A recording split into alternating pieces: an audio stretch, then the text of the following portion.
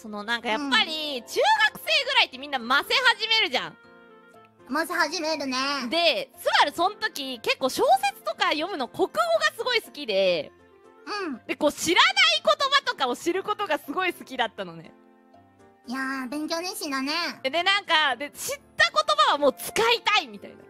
うんうんうん。で、これね、ちょっと本当にマジで黒歴史なんだけど、うん、なんかクラスの男の子たちが、その、なんか、そのやっぱ思春期だから、なんかこうん。う、ムラムラみたいな、こう言葉を言ってたの。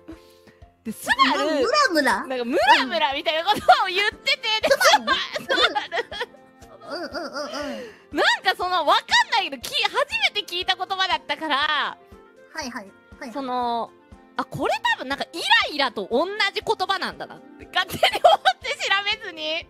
見たスバルの純粋無垢エピソーこれなんか、あ、なんかイライラと同意義の言葉なんだな、これはって勝手に思って。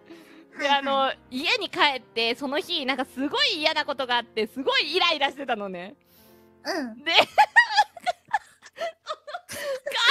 母ちゃんの。母ちゃんの前で普通に、もう今日めっちゃムラムラするって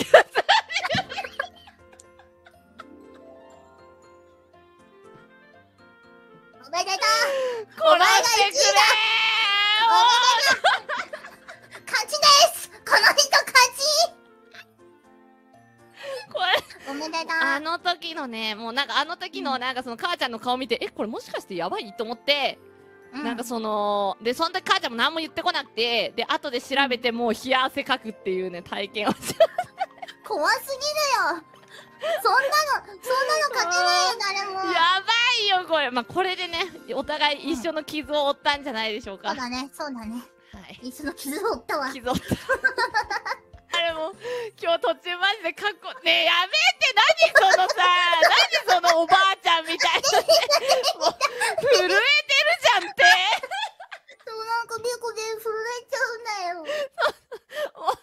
なんかもうななんだろう。ギリギリのピース本当面白いもう。これちょうどすぎるね